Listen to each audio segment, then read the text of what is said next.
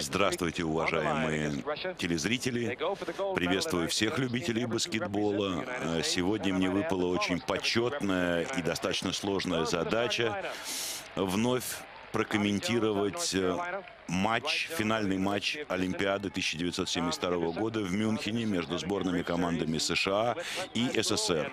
Начинается эта встреча со спорного мяча, который разыгрывают девятый номер американской команды Дуайт Джонс и 14 номер команды нашей Александр Белов.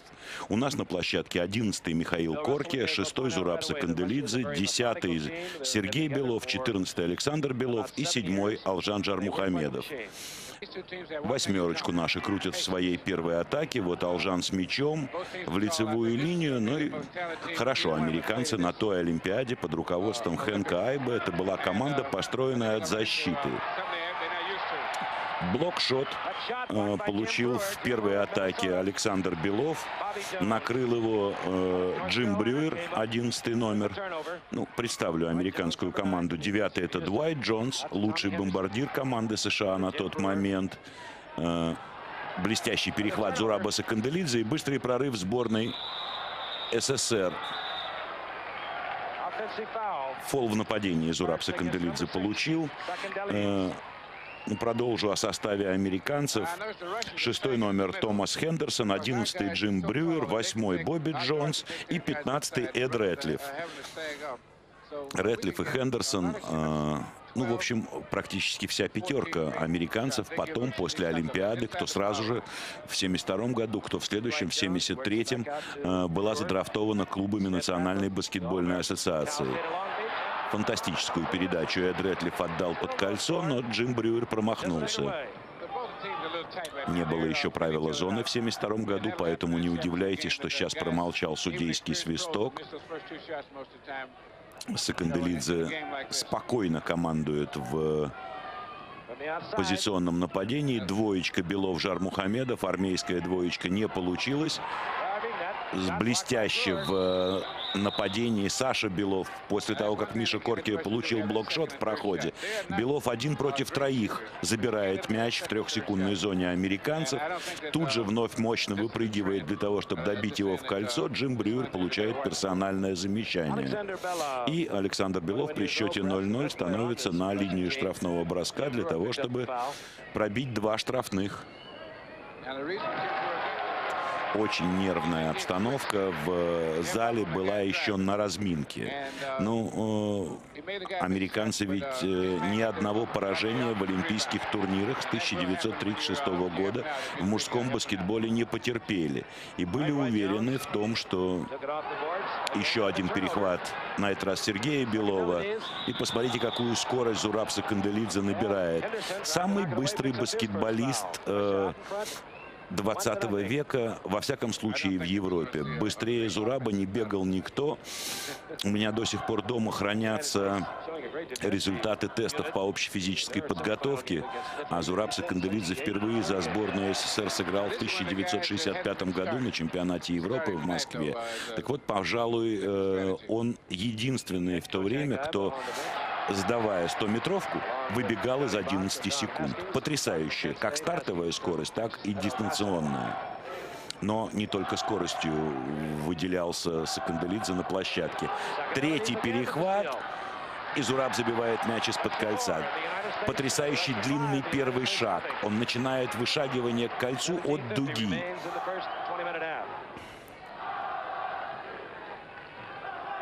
Брюер Миша Корки наказан персональным замечанием. У Корки очень сложная задача по обороне. В принципе, он держит Бобби Джонса. Этот игрок Бобби Джонс впоследствии в составе Филадельфии становился чемпионом Национальной баскетбольной ассоциации.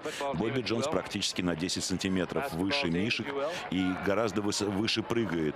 Он был чемпионом своего штата по прыжкам в высоту среди студентов, правда. И опять, обратите внимание, Белов, одаренный прыжком от природы, Александр Белов, он встречает мяч, отскакивающий от кольца, выше уровня кольца. Он опережал свое время намного. Его техника игры на подборе, практически ей никто, кроме его и Чосича, в Европе-то не владел. И вот какая самоотверженность после того, как мяч не удалось зафиксировать в руках. Американцы его били по рукам не очень понятный свисток для меня. 5-0 ведет сборная СССР, судья показывает, что при розыгрыше спорного мяча Белов, Александр Белов, нарушил правила. А виноват был арбитр, который подбрасывал спорный Артений Карабаджан, болгарский арбитр. Кстати говоря, второй арбитр, если я не ошибаюсь, из Уругвая, Оппенхаймер. Ну, э, на Дуайте Джонсе при выполнении броска сфалили. И э, теперь Дуайт Джонс будет пробивать штрафные броски. Foul by Университет Хьюстона, за который играет, играл в том, в том году Дуайт Джонс, еще не был э, лидирующей школой в NCAA. Однако звезд подарил Национальной баскетбольной ассоциации немало. Э, можно назвать фамилии Хакима Аладжуона, Клайда Дрекслера. Но это все было потом. Саканделидзе в углу. И обратите внимание, в, на первых минутах этой финальной игры Зураб Саканделидзе самый результативный игрок в сборной СССР. Я, кстати, приношу свои извинения, не представив тренеров. Хенри Айба тренирует сборную Соединенных Штатов, Владимир Петрович Кондрашин сборную СССР. Владимиру Кондрашину помогает Сергей Григорьевич Башкин. Фол Саканделидзе. Очень смешно слушать американских коллег, которые комментируют этот матч и не могут выговорить фамилии пошел на перехват Корки и показывает, что он не, не успел вернуться. Он дотронулся до мяча. Мяч от Корки уходил за лицевую линию. Саша Белов этот мяч достал, но, к сожалению, Миша не успел вернуться до площадки. Брюер с мячом на Бобби Джонса, который здесь не опасен. Ну и Хендерсон. Том Хендерсон бросал по кольцу со средней дистанции. Американцы во всем том турнире были не только лучшими по игре в защите, но и лучшие по количеству подборов на, чужом, на чужом щите. Много очень забирали мячей. Э, напоминаю, что обе эти команды до финала выиграли по 8 матчей подряд. Эд Рэтлиф затянулся и перевисел Алжана Жармухамедова в воздухе, забив мяч достаточно легкий из нашей трехсекундной зоны.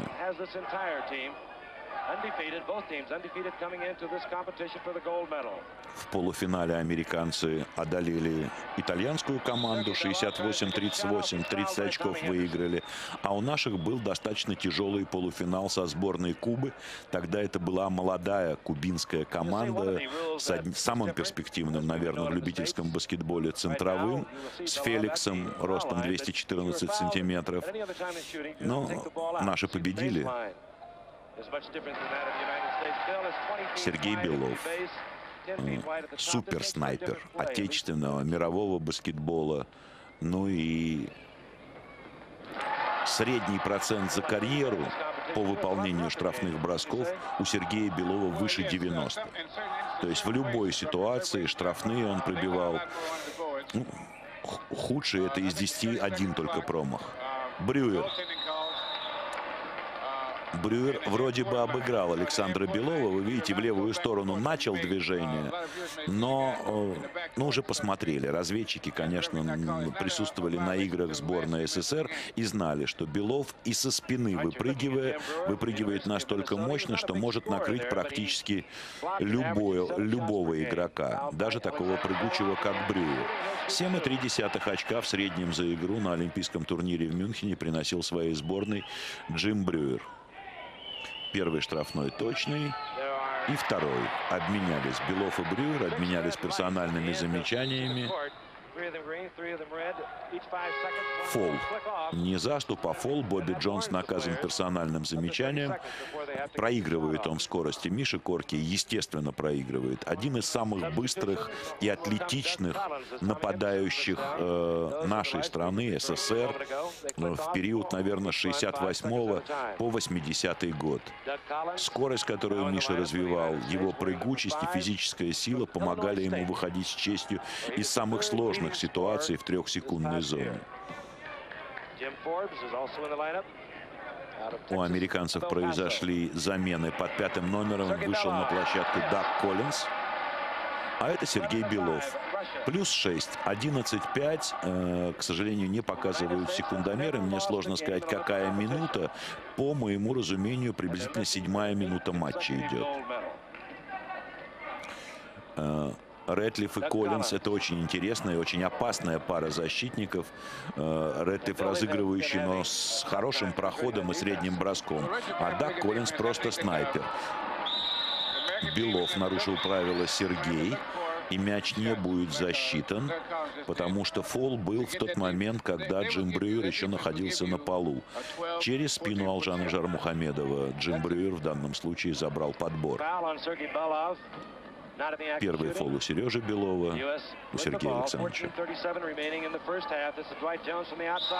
Мяч считается. Мяч считается. И еще раз продемонстрировал свою феноменальную прыгучесть Александр Белов. Я вынужден, к сожалению, сказать, 35 э, лет прошло с того матча, со времени того матча. И троих игроков стартовой пятерки в нашей сборной, к сожалению, уже нет с нами. В один год с разницей в 9 дней ушли из жизни самые близкие друзья Зураб Саканделидзе и Михаил Корки. В 1978 году после тяжелой болезни скончался Александр Белов в расцвете сил. Еще один точный средний броскок Сергея Белова в правую сторону, остановка на две ноги. И выпрыгнуть Сергей Александрович мог в, люб в любом направлении. Туда, где нет защитника.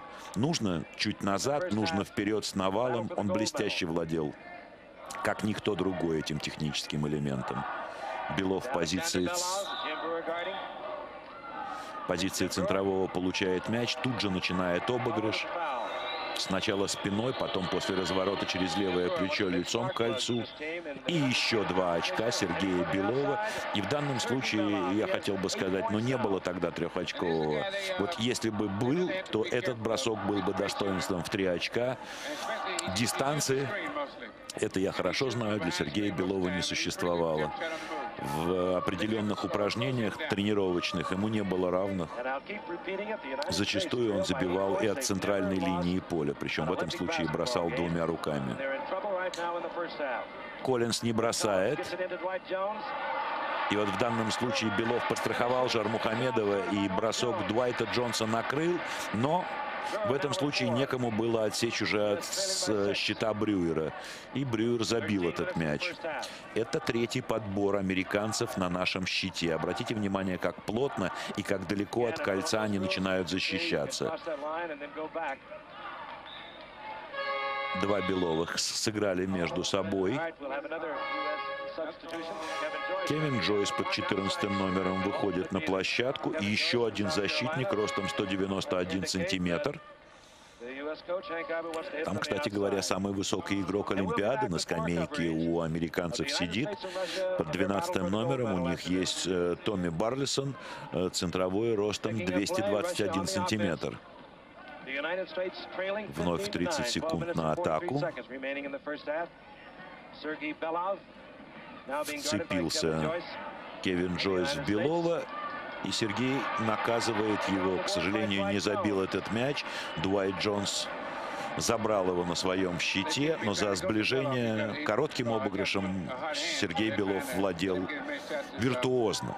Очень высокая стартовая скорость, очень резкий уход от соперника, чаще вправо, чем влево. И потом эта знаменитая беловская остановка на две ноги.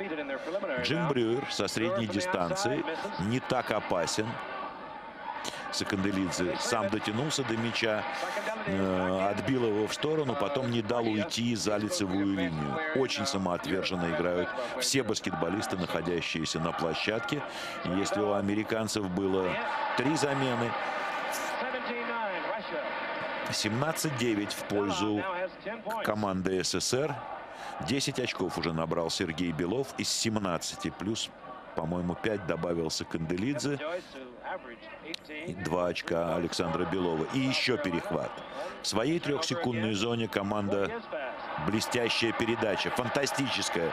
Саканделидзе сам себя подбадривает, кулак поднятый вверх. Все оба американца ждали, что он пойдет под кольцо, он же забил уже такой мяч сегодня. А короткая скидка под неудобную руку на Мишу Корке. И Михаил доводит разницу в счете до 10 очков. Первый тайм абсолютно точно наш. Шесть потерь уже совершили американцы. Из этих шести потерь два раза мячик в аут улетел. И четыре раза наши перехватили передачи. Джойс. Арабаджан фиксирует фол со стороны Сергея Белова. Первая замена. Иван Едешко под девятым номером входит в игру. А заменил он Сергея Белова. Большие наши Александр Белов и Жар Мухамедов по-прежнему на площадке. Под десятым номером у американцев Джеймс Форбс появился. Это его был промах через руки Едешка. Вообще за половину первого тайма всего-то американцы без сопротивления по нашему кольцу бросили дважды. Я хвалил американцев, э, которые под руководством Хенри Айба очень плотную защиту натренировали к этим Олимпийским играм слабо летящий мяч, который перехватил Дуайт Джонс, но и защита сборной СССР под руководством Владимира Петровича Кондрашина была и гибкой, и в то же время очень плотной. 15 номер Эд, Рэтлиф получил фол в нападении. Едешка, конечно, не без присущего ему артистизма показал, что в этом столкновении виноват не он. Uh, Вернулся на площадку Том Хендерсон. Напоминаю, он начинал игру в стартовом составе, потом его меняли. И uh, вот шестой номер сборной США вновь на, на поле. Uh, Продолжается этот прессинг на полполя. Едешка выронил мяч из рук. Нельзя начинать ведение. Заброс на Жармухамедова. Вторая потеря подряд у Михаила Корки. Джим Брюер вернул мяч Рэтлифу. И опять, э, на этот раз не Секандаридзе, а Корки едва не перехватил. Короткая передача, сложно перехватывать ее. Блестящий в обороне Едешка. Его потом постраховал еще Жар Мухамедов. Сам себе мяч в ногу Корки, но мяч не потеряли. 19-9. Хенри Айба вот как раз в сторону камеры посмотрел. Опытнейший тренер. Это, кстати, его последняя Олимпиада. Ай-яй-яй. Хорошая передача от Саканделидзе на Белова. И Саша промахнулся из-под кольца. Это то, что называется в баскетболе иногда шутит высоко прыгать. Большой недостаток. Вылетел намного выше уровня кольца. Хотел сыграть надежно от щита. А получилось, что мяч ударился в щит где-то на уровне э, верха квадратика. И поэтому в кольцо не отскочил. Дуайт Джонс опять на Джима Брюера. И на этот раз Брюер.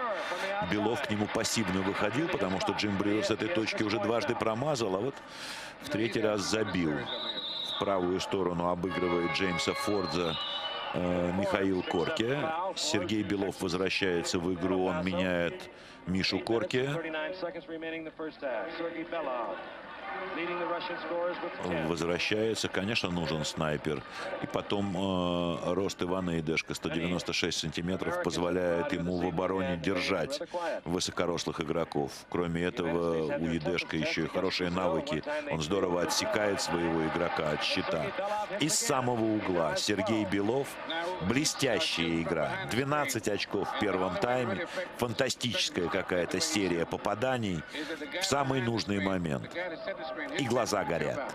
Но горят они у всех игроков команды СССР. Вновь 10 очков преимущества команды. 21-11. Двойной заслон по лицевой линии получил Рэтлиф и не забил успели подстраховать. В данном случае Жар Мухамедов. А вот здесь отвлекся Сергей Белов. И получилась комбинация, которую американцы называют бэкдор. Через заднюю дверь вход под кольцо. Пока игрок смотрит на мяч, а не на своего подовечного, он врывается ему за спину. Белов помог разбивать прессинг. Сергей Белов не точно. Жар. Алжан Жар Мухамедов подобрал в своем стиле. 207 сантиметров рост Жар Мухамедова. Очень легкие, очень длинные руки. Никогда не опускал их при борьбе на щитах. Если не мог забрать мяч сразу же, в две руки подбивал его вверх. И следующим прыжком, или может быть третьим, все-таки овладевал мячом. Дуайт Джонс через руки Жармухамедова не точно. В силовой борьбе сейчас Александр Белов забрал подбор.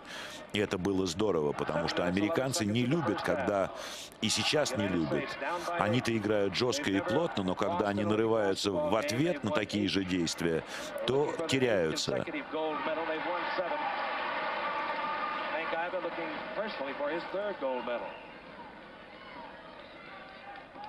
Это третья Олимпиада Хенри Айба. То есть он, конечно, мог бы установить рекорд на все времена. Как тренер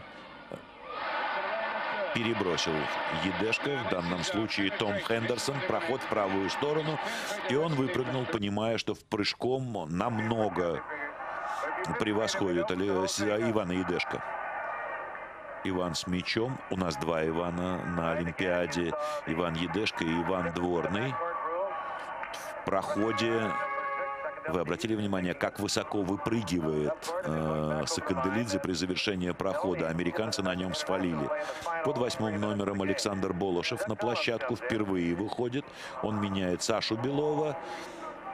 Вместо Сергея Белова Михаил Корки вновь возвращается в игру. И, по-моему, тайм-аут попросил Владимир Петрович Кондрашин. 17-24 под 13 номером Том Макмиллан вышел на площадку. Напоминаю, после своей долгой карьеры в Национальной баскетбольной ассоциации Том Макмиллан ушел в политику и долгое время был сенатором от штата Коннектикут забил. Два мяча подряд забил Том Хендерсон.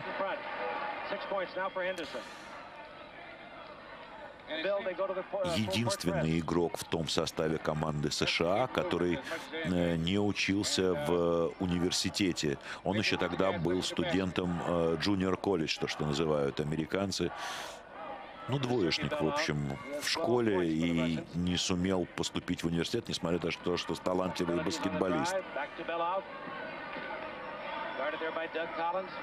Передача Белова на Александра Белова и закончилась потерей. Но здесь Саканделидзе совершает свой третий перехват.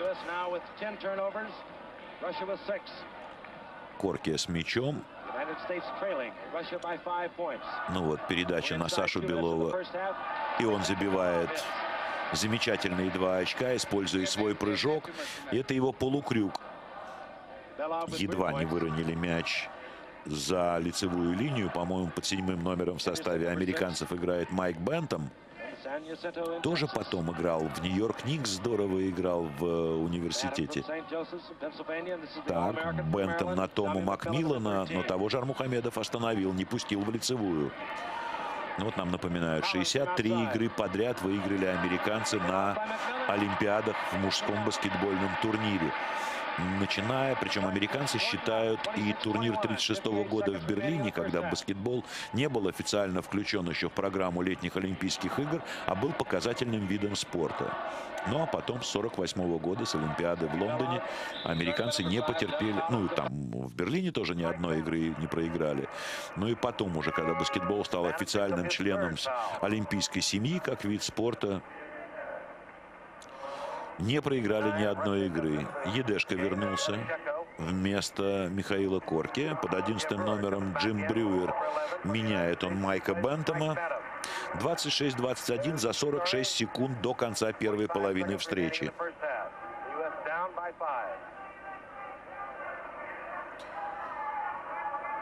Не торопятся. Это уже указание от тренеров команды, от Владимира Петровича Кондрашина и Сергея Григорьевича Башкина. Не торопиться, не форсировать ничего в этой атаке. Белова один на один. Не бьет. Возвращает мяч Сергею Белову. Получает ответную передачу. Теперь можно. Нет, Крюк, очень красивое исполнение. Смотришь на Сашу Белова, это для эстетов баскетбола. Любое его движение, к сожалению, не попал. 10 секунд у американцев на атаку в конце первого. И вот левша Том Макмиллан из угла, вроде со своей точки, мажет и звучит сирена. Нет, одна секунда еще осталась. Кстати говоря, у Сергея Белова три фола, что крайне редко бывает. И здесь сквозняк. Э, Дуайт Джонс э, под плотной опекой, э, кого не, не бери. Держал его Алжан Жармухамедов и держал его Михаил Корке. Не может он сегодня преодолеть защиту сборной СССР. Пять очков по тем временам, по нерезультативной игре, которую демонстрировала на Олимпиаде сборная США, это достаточно комфортное преимущество. Не сначала мы смотрим вторую половину, 31-25, плюс 6 очков на площадке Зурабса Канделидзе. Пятый номер это Модестас Паулаускас, его выход. Александр Белов и э, Александр Болошев, наши большие. Болошев с разворотом, его бросок через правое плечо. К сожалению, Александр не попал и не забрал э, мяч под кольцом соперника Александр Белов. Пятый игрок у сборной СССР на площадке Иван Едешко. У команды США Эд Рэтлиф. 15 номер, 9 Дуайт Джонс, 11 Джим Брюер, 5 Даг Коллинз. Едешка, обратите внимание, выпрыгивал невысоко, но как, сколько места он занял в трехсекундной зоне, практически не позволив двум американцам, находящимся э, по бокам от него, подпрыгнуть. Ну, и шестой номер Томас Хендерсон. Вот я всех пятерых игроков команды США назвал. И обращаю ваше внимание, что в три защитника и постоянно играет э, можно сказать, три маленьких. Они, правда, совсем не маленькие по баскетбольным меркам того времени.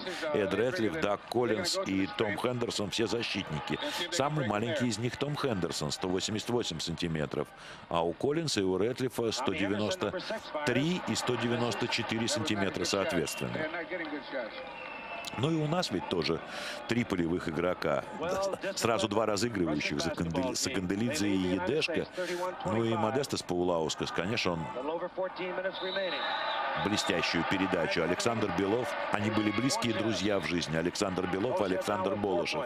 Белов входящему Болошеву, и у того не прыжок, а нырок к кольцу получился. Но это для того, чтобы преодолеть сопротивление защитников, которые уже выпрыгнули вверх. Остроумно сейчас Александр Болошев забил мяч в кольцо. Дуайт Джонс. Э, Болошев, выполняя строго э, задание тренера, Фол Едешко выставил бедро. Не колено, как показывает Арабаджан, а бедро, э, не пуская в лицевую линию Дага Коллинса. А вот теперь Едешка держит Дага Коллинса. И Коллинс забивает в своей манере движение в левую сторону, а он правша, и он не поворачивается корпусом на кольцо, бросает сразу же, находясь плечом к кольцу. Едашка не успел за этим броском. Саша Белов успел спасти этот мяч. Едва не получилась потеря после передачи. Болошев с дистанции мимо. Паулаускас и Том Хендерсон боролись за отскок. Хендерсон вышел победителем. И опять э, Коллинза и держат на дистанции. Это опасно. Рэтлиф атаковал со средней дистанции. Не получилось у нашей сборной провести быстрый прорыв. Забрав мяч под своим кольцом, Александр Белов пытался отдать уже набравшему скорость Сергею Белову мяч. Рэтлиф подставил руку. Но самое важное, что владение мячом сохранила сборная СССР. Сергей Белов самый результативный игрок на эту минуту матча. 12 очков у него. Коллинс, покачивая головой, показывает, что э, сначала Белов его толкал. Но это все в пылу борьбы. И все это на самом деле не важно после того, как прозвучал свисток, в данном случае уругвайского арбитра. И Сергей Белов становится на линию штрафного броска. У Коллинза это второе персональное замечание. В среднем Сергей Белов э, забивал по 13,2 очка за игру. Промах. Промах с линии штрафного броска. И тут ничем, кроме волнения, этого объяснить нельзя. Раз э, раздалась сирена от столика, значит, Белова меняет Кондрашин. Да, Михаил Корки вышел вместо Сергея Белова.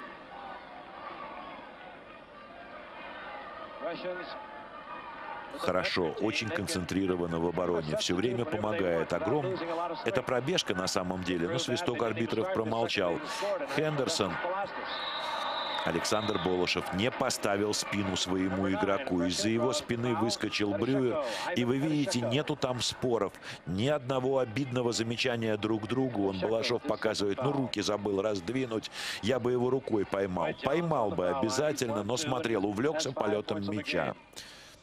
Девятый номер, это Едешка, это именно он внизу на Брюере свалил, но судьи посчитали, что Брюер уже выпрыгивал, то есть э, фаза атаки кольца наступила, поэтому Брюер вознагражден двумя штрафными бросками. Первый забил. Вместо Едешка Сергей Белов. Манера ведения игры Владимиром Петровичем Кондрашиным отличалась вот такими частыми заменами, точечными, как сказали бы сейчас. Блестящий психолог Кондрашин понимал, кого э, и насколько, на какой период впускать в игру. Его ленинградский «Спартак» отличался именно этим от Тома Хендерсона э, ушел мяч. Ну, конечно, отличался прекрасной защитой, замечательным позиционным нападением. Но вот этими заменами э, Владимир Петрович часто смущал тренеров соперников. Едешка, э, я прошу прощения, Паулаускас отдавал передачу Саше Болошеву, и мяч ушел за боковую линию от американцев, от Эда Ретлифа. Хендерсон не может справиться с Беловым. К сожалению, Сергей не попал. Так, Корки и Дуайт Джонс. Обоюдное персональное замечание. Обратите внимание, по-моему, судья принимает, ну, с моей точки зрения, абсолютно необоснованное решение. Не было обмена ударами, а он удаляет с поля обоих. И Мишу Корки, и Дуайта Джонса. 12 э, минут еще играть. Потери для обеих команд весьма чувствительные. Да, судя по тому, что объявляет судья-информатор в э, Мюнхенском Олимпише зале, э, удалены оба. Вместо Дуайта Джонса под седьмым номером в игру Хенкайба пускает Майка Бентома, а у нас вместо Мишико Корки на площадке Иван Иванович Едешко. Спорный мяч, естественно, выпрыгивают любые игроки. Александр Белов и Джим Брюер – самые высокопрыгучие игроки своих команд. Ну, вот сейчас, ну, обратите внимание, э, Джиму Брюеру при приземлении не повезло. Такое впечатление, что он, падая, ударился головой об паркет. Подходит врач американской команды. Э, мне легко. Я знаю, что случилось. Э, повтора нет, и мы не видим. У Джима Брюера сотрясение мозга. И он тоже не смог дальше продолжать этот мяч, матч. Э, провел его, по-моему, до конца на скамейке запасных, а уже потом его отправили в больницу. замена. Вместо Джима Брюера под десятым номером Джеймс Форбс потрясает похоже на то, что происходит с боксерами в случае нокдауна. Нет, Брюер вернулся на площадку. Да, Коллинз на Брюера 34-28. Середина второго тайма. Фол фиксируют арбитры. Балашов подталкивал в спину Брюера двумя руками. Ну, там не было толчка, там было касание. Но вот после того инцидента, который произошел на площадке минуту назад, судьи совсем жестко начали а, так, не забрав мяч с первой попытки, Александр Белов взял его потом. Пожалуй, никто так эффективно не боролся с американцами на щите, как Александр Белов. Но недаром его еще в 68 году, когда ему было 17 лет, Дважды. Сначала Паулаускас промазал, потом дважды добавлял Саша Белов мяч в кольцо. И оба раза мяч не послушался его руки. 34-28 за 11 минут и 19 секунд до конца матча. Алжан Жармухамедов вместо Александра Болошева входит в игру. Sarmakhamdov, who had his best game in the semifinal game against Cuba when he got 15 points, is also an excellent rebounder. 29 лет на момент этой игры Сергею Белову, по 28 Ивану Идешко и Алжану Жармухамедову. А самый-то старший на площадке. Жармухамедов только вышел на площадку и тут же забил мяч. Это его бросок с 4 метров со скоком от щита под углом к кольцу, к лицевой линии, конечно. Э, а самый старший Модестас Паулаускас. Модестас Паулаускас с 65 -го года, так же, как и Зурабса Канделидзе, играет за сборную СССР. И после того, как э, на время покинул сборную Геннадий Георгиевич, Вольнов стал ее капитаном. Правда, на Олимпиаду Вольнов поехал. Кондрашин вновь взял этого нападающего, легендарного нападающего отечественного баскетбола. Паулаускас не забил, мяч отскакивает к Сергею Белову, и Сергей точен. Говоря о дружбе Александра Белова и Александра Болошева, ну, конечно, нужно сказать еще, вообще была дружная команда. Какие друзья по жизни Модестас Феликсович Паулаускас и Сергей Александрович Белов. До сих пор. Это трибуна, на которой сидят члены семьи э, Международного олимпийского комитета. Очень сложный мяч Эд Ретлиф забивает. Едешка подумал, что все, что он уже со своей задачей в, зад... в защите справился и руки отдернул, чтобы ненароком не свалить. Двойное ведение у Ивана. На ровном месте он потерял этот мяч, но это с Иваном бывало неоднократно. В данном случае, правда, нет оправдания. Там не было желания сыграть красиво. Брюер со средней дистанции забивает. Но здесь уже можно предъявлять к Александру Белову претензии, потому что это не первый мяч Брюера с этой точки. Он такой же забил и в первом тайме. Белов, огромный Сергей Белов работу проделывает. Фол фол Эду Рэтлифу. Он выглядит повыше из-за прически, которую тогда называлась афро. Но ясное дело, что как бы высоко не прыгал Эд Рэтлиф, не может он допрыгнуть до Алжана Жармухамедова, чей рост 207. И бил Алжан практически с прямых рук.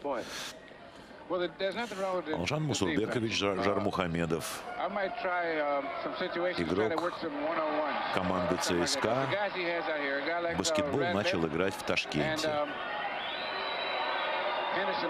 Два, два промаха, но Модест Паулаускас выигрывает подбор на чужом щите. Хорошая передача на Паулаускаса на лицевую линию. Его накрывают. Он сам же подбирает этот мяч и опять мажет. Это его точки. Модест Паулаускас бил не издалека. Но он был очень надежен в этих бросках э, с трех с половиной четырех метров. И вот здесь волнение в олимпийском финале трижды заставило его промахнуться. Коллинз не точно. Вот Бентом добил мяч в кольцо после неточного броска Ретлифа.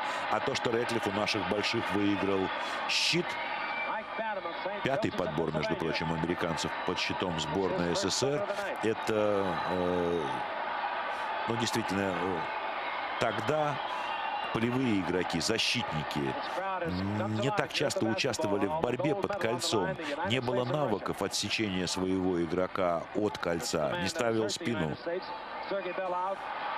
Белов. Мяч отскакивает Жар Мухамедову, и у него из рук Ретлиф выбивает мяч за лицевую линию. Э, Александр Белов возвращается в игру. Он меняет Модестаса Паулаускаса. И у нас пятерка повыше теперь становится. Жар Мухамедов, Балашов, Белов. Едешка вместо Саканделидзе.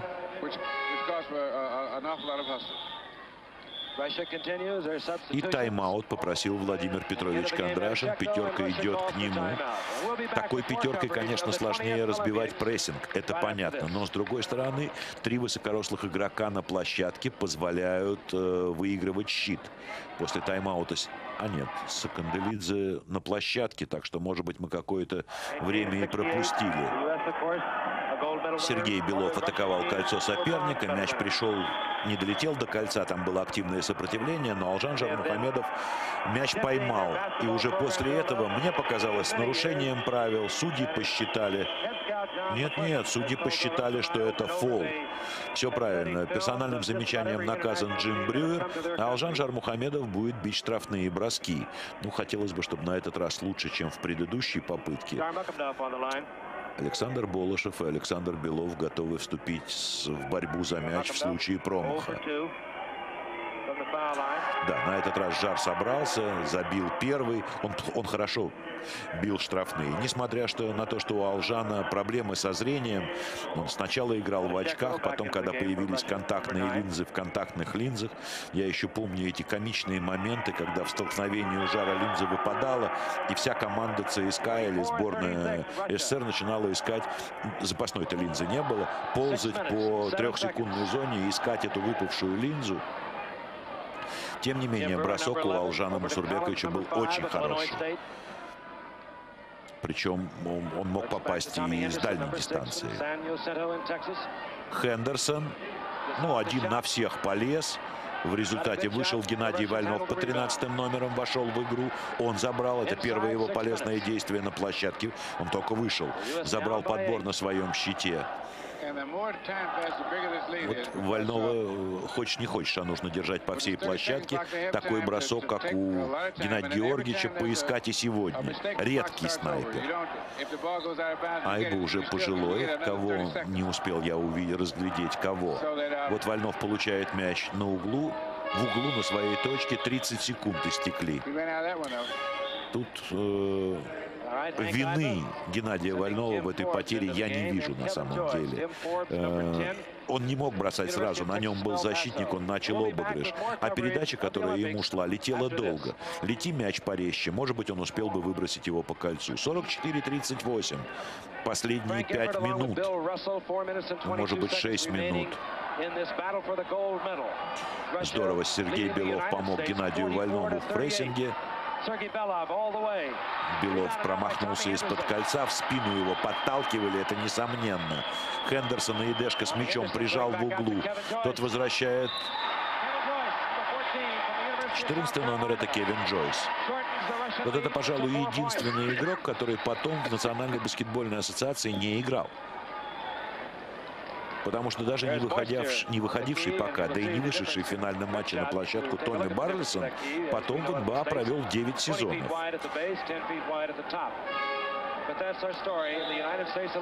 Но ну, тут я, пожалуй, еще э, должен отметить, не появлялся в матче со сборной СССР, в финальном матче Олимпийского турнира не появлялся и Кенни Дэвис.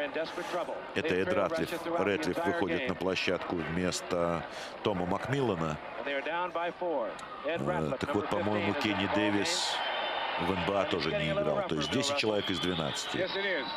У Едешка мяч выбили, но Александр Болошев поймал. Это не передача была. Единственная техническая ошибка, которую Сергей Александрович Белов совершал на протяжении всей своей карьеры. В левую сторону правой рукой. В результате потеря. Забил мяч Эд Рэтлиф. 44-42. Нет, я прошу прощения, 14 номер это Кевин Джойс забил мяч. Два очка преимущества всего сборной СССР. Тайм-аут нет, две замены. Выходит Александр Белов из Рапса Канделидзе. Александр Белов вместо Александра Болошева, а вот Саканделидзе, наверное, вместо Едешка. В общем, матч, который Иван Иванович Чедешко проводил в Мюнхене в финале, далеко не, не самый удачный в его карьере. Если, конечно, не брать последние три секунды. Саканделидзе обыгрывает Ретлифа, разгоняется фол. Десятый номер Джеймс Форбс получает персональное замечание. Саканделидзе будет бросать два штрафных. И когда игрок набирает такую скорость и бесстрашно, а Саканделидзе именно бесстрашно шел на кольцо, остановить его по-другому практически невозможно. Я все время говорю Саканделидзе. Те, кто любит и помнит баскетбол, конечно, знали, что в сборной в «Динамо Тбилиси» этого игрока не называли ни по имени, ни по полной фамилии. Сако. Сако на площадке и в жизни. Удивительно светлый человек. Остроумный, для грузина даже несколько флегматичный, я бы сказал спокойно реагировавший на все. Ну вот даже это спокойствие, присущее Сако по характеру, не помогло ему забить хотя бы один штрафной из двух. Все-таки цена матча необыкновенно велика. Джойс ну, два раза попал, три раза подряд это было бы слишком. Это только Сергей Белов мог. Едешка вернулся на площадку, но нужны два разыгрывающих разбивать этот прессинг. Передача Паулаускаса в угол на Жар Мухамедова. По-моему, Джойс получил персональное замечание, пытаясь остановить Паулаускаса. И Модестес на линии штрафных бросков, потому что количество фолов уже, вот я не помню, в 72 году 10 или 8. По-моему, 8. Вообще правила отличались. Там ведь не только э, правила зоны не было и трехочковых бросков. Очень много было. Ну, хотя бы один из двух забил Модест. И преимущество сборной СССР стало трехочковым. Том Хендерсон успевает показать, что он хочет. Рэтлиф на Джойса. Американцы тоже с двумя разыгрывающими. Хендерсон не точно. Белов добирается до мяча. В сторону Едешка его подбил. Еще раз Едешка сыграл. И Иван начинает разбивать. Ну все, он перешел уже в зону нападения. У Паулаускаса Рэтлиф хотел мяч забрать из рук, но не знает он, что это как клещи руки Паулаускаса такое впечатление, что он сразу у мяча ручки находил. Выбить мяч из рук Модестеса – это утопия.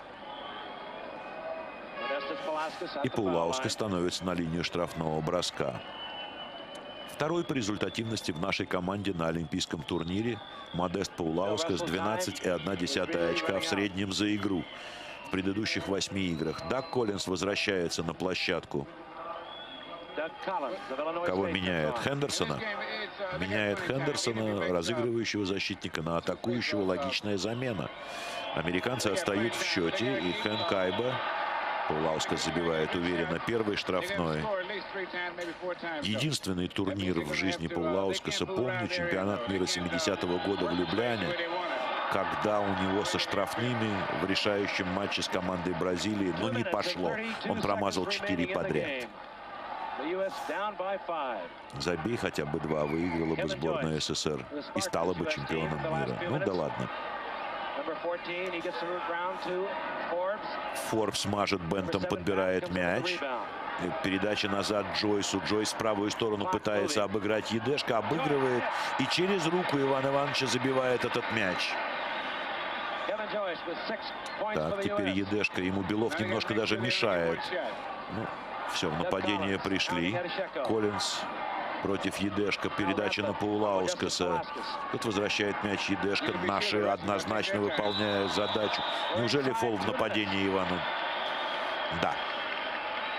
Фол в нападении. На этот раз Дак Коллинс отомстил. И у нас тоже больше восьми командных замечаний. Коллинс идет пробивать штрафные броски. 47-44. Даг Коллинс на линии штрафных бросков очень уверенно. Ну, и тогда, и потом Даг Коллинс штрафные, так же, как у нас Сергей Белов, не ниже 90%. Сергей Белов возвращается на площадку на эти минуты. Кого он поменял? Едешко поменял. 47-45 за минуту и 50 секунд до конца матча. Саканделидзе против Джойса намного увереннее Зураб Саканделидзе водил мяч, мяч правой рукой, чем левой. И опять Саканделидзе и Белов здесь, у центральной линии поля. И опять они пока только вдвоем играют. И фол, который получает Джойс. И вот здесь это, конечно, не дисциплинировались. Э, нечего лезть выбивать мяч. Ясно, на чьей стороне мои симпатии, но такой умный разыгрывающий, как Кевин Джойс, конечно, не должен был фалить в этой ситуации. Сако забивает это штрафное. Посмотрите, как, как он сам радуется. Еще на один маленький шажок ближе сборная СССР к победе. Второй не забил. 48-46. Менее полутора минут играет. Даг Коллинс и Кевин Джойс. Странная пара. Не основная пара защитников у американцев на площадке. Джойс мажет. Жармухамедов и Белов борются за этот мяч, но выигрывают подбор американцев. Их было трое. Трое высокорослых двухметровых американцев под нашим щитом. Коллинс но нет. И фол Майку Бентому определяет этот фол арбитр, который должен определять. Арбитр, э, когда их было двое, а не трое, как сейчас, тот, который стоит на лицевой линии, он смотрит за борьбой в трехсекундной зоне. Тот, который стоит в поле, он смотрит за тем, правильно ли э, происходит взятие кольца. В данном случае Майк Бентом получает фол. Вот только я не понял, кто будет пробивать штрафные, Жар Мухамедов или Александр Белов. Тайм-аут за 55 секунд до конца этого матча, основного времени этого матча, как хотите, взял Хенри Айба. Ему есть что сказать своей команде. На площадке Том Макмиллан, Майк Бентон, Кевин Джойс, Дук, Даг Коллинс и был, и был Джим Брюер. Нет, я смотрю, что шестой номер Том Хендерсон стоит, значит, он будет выходить. И Макмиллан то отходит от э, тренера к скамейке, то возвращается обратно. Так. Выполнять штрафные встал Сергей Белов. Так, у кого-то развязан шнурок.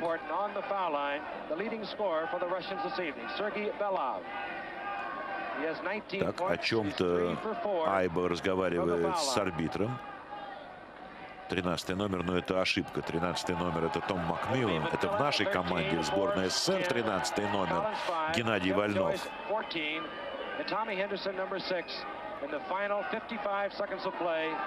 Вот, исправили титр. Я не сказал с самого начала, мы смотрим э, ту версию, которую смотрели американские телезрители.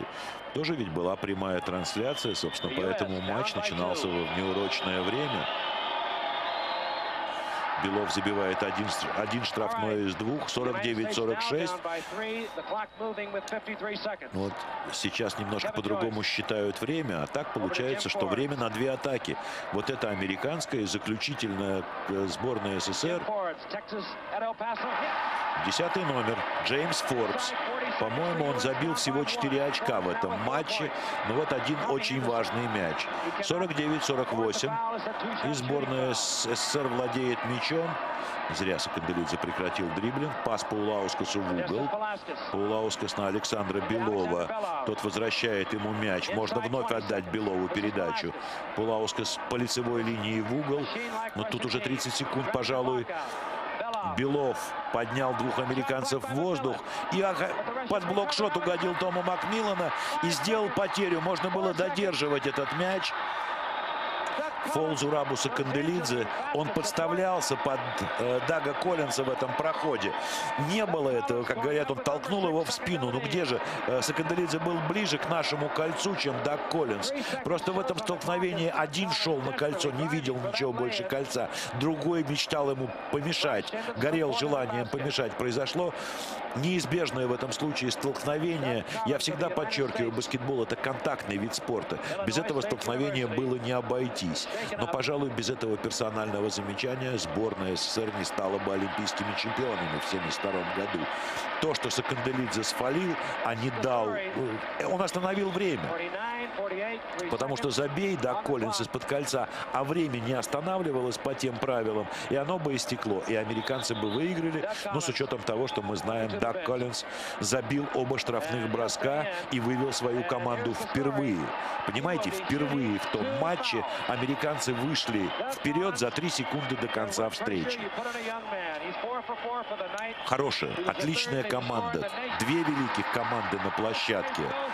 Я с этим абсолютно согласен. Обе заслуживали победы. Но логики в том, что произошло, баскетбольной логики в том, что произошло в этот момент, нет. Жармухамедов сразу же выбрасывает мяч Сергею Белову. Поторопились. Ошибся столик. В этот момент э, Владимир Петрович Кондрашин предупредил столик о том, что он просит тайм-аут. И время просто не пошло. И здесь претензии американцев, но явно не обоснованные. Тайм-аут дали. Сейчас можно разговаривать со своими игроками не только Кондрашину, может и Айба разговаривать со своими игроками. А время не сдвинулось с места. Там не две секунды, не одна секунда, там те же самые три секунды, какие и были на табло в момент пробития штрафных бросков Дагом Коллинсом. Поэтому, когда разбираешь претензии сборной Соединенных Штатов, Американской Федерации баскетбола и в конечном итоге Олимпийского комитета Соединенных Штатов, то по поводу первого переигрывания трех секунд претензий быть не может. Они надуманные, притянутые за уши. Сейчас будет второй момент. Здесь уже после, по, после того, как Кондрашин взял тайм-аут, Едешка должен был отдать мяч э, и вот опять, обратите внимание, Иван Иванович Едешко отдает длинный пас Александру Белову. По баскетбольным правилам время запускается тогда, когда до мяча дотрагивается игрок в поле. Американцы празднуют. На это можно смотреть и сочувствовать, потому что вот это самое обидное. Их болельщики, их тренеры, члены Олимпийского комитета США, вот их тут аж в белых пиджаках, вы видите, это все они. Они вышли уже праздновать победу на площадку. И в этот момент э, доктор Вильям Джонс, э, вот он, он там в этой Э, нет, это Айба. Но Джонс был у столика в этот момент. И он показывал, что судья-секундометрист совершил ошибку. Он запустил секундомер раньше времени, до касания игрока в поле. И, естественно, опять три секунды устанавливаются на табло, и сборная СССР получает право третий раз подряд ввести мяч в игру. Айба идет к столику разбираться. Проблема заключается в том, вот в бабочке это доктор Вильям Джонс, генеральный секретарь Федерации, Международной Федерации баскетбола с момента ее создания и до 1980 года. Человек, который знал о баскетболе все. Да, собственно, правила, по которым играли баскетболисты вот в этом конкретном матче, тоже ведь писал доктор Вильям Джонс.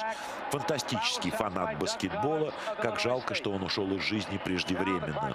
Он скончался в начале 81 года. И вот последний, последний раз Едешка с высокой траекторией запускает этот мяч к кольцу американцев, мешают друг другу. Десятый номер Джеймс Фордс и четырнадцатый Кевин Джонс. Помешали друг другу, и мяч Саша Белов поймал. И как в детской спортивной школе отправил его в кольцо, мог бы сверху, а забил его со скоком от щита. Великая победа. Вот эта победа логичная. Наши заслужили победу больше. Они вели всю это, весь этот матч. 51-50. Заключительные минуты торжества. Первое поражение с 1936 года на олимпи мужских олимпийских баскетбольных турнирах сборной США. Первый раз американцы возвращаются домой без золотых медалей. Первые в истории отечественного спорта золотые олимпийские медали в мужском баскетболе. Эта команда заслужила памятник при жизни. Спасибо вам за внимание. Напоминаю, что комментировал этот матч для вас Владимир Гомельский. Всего вам самого доброго. And apparently the argument is over the amount of seconds, but the clock was wrong. The Russians put the ball in play with one second. They threw it the length of the court. The gun sounded. The United States apparently had won the game.